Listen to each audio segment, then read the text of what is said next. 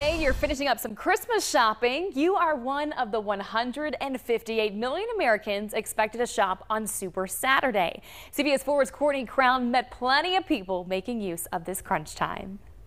I usually start my shopping at Black Friday. Now I'm just now starting. So, are you out last minute shopping? Yes, I am. Jonna Hommel is here from Florida, braving this Indiana cold to finish her list before December 25th. Oh, I'm usually prepared, but since we're up here all week, I still have some last minute things that I need to get done. The National Retail Federation says tomorrow about 28% of the 158 million shoppers expected to spend will shop in stores. That's where you could find Joshua Sichi. I just go in there and I grab what I grab, and it ends up being the best gift.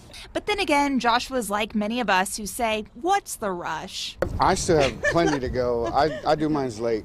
I'll be shopping on Christmas Eve. The most last minute shoppers will still have options. Most Macy's locations are open on Christmas Eve, along with Best Buy, Target, and Walmart. I think you get the best gifts last minute. Lorraine Sichi, on the other hand, needed merely one last gift today. She's an online shopper and an early bird, but you won't find her shaming the present procrastinators. You know, it's, with life, you know, it's so busy, work and balancing kids and everything else, like, you just got to do what you got to do when you can do it. While the shopping bags full of presents are nice, memories made among the hustle and bustle of the season are gifts alone. Just ask Eunice and her granddaughter Lacey. Are you done with your Christmas shopping? You almost, still... almost, but I'm just looking now. I'm at that point. In Greenwood, Courtney Crown, CBS 4 News.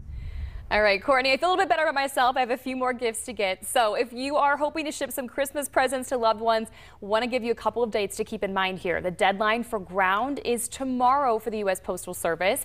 And to send via FedEx, that deadline is December 20th, but you can overnight it by December 22nd.